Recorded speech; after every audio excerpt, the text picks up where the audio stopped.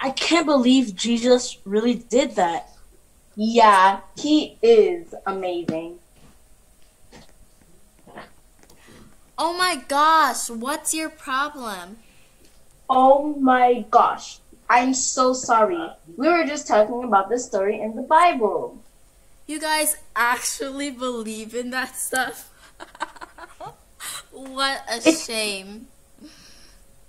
It's really pretty interesting. You see here in Nobody Matthew, cares. You guys are just losers. Oh, it's okay.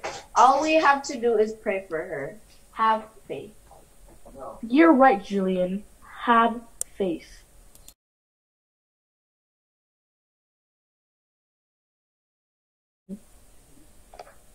I'm so excited for the Pathfinder retreat this weekend.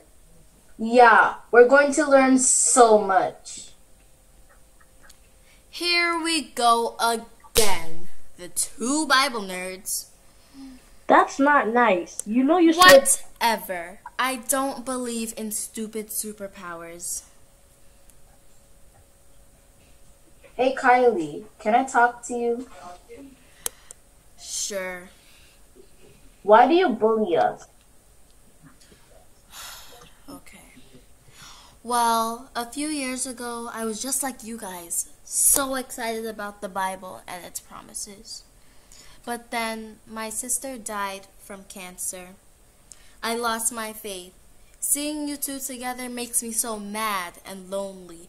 It makes me want to believe again.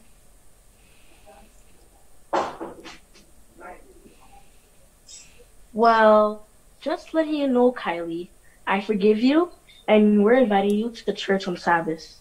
Oh my gosh, thank you so much. I appreciate it.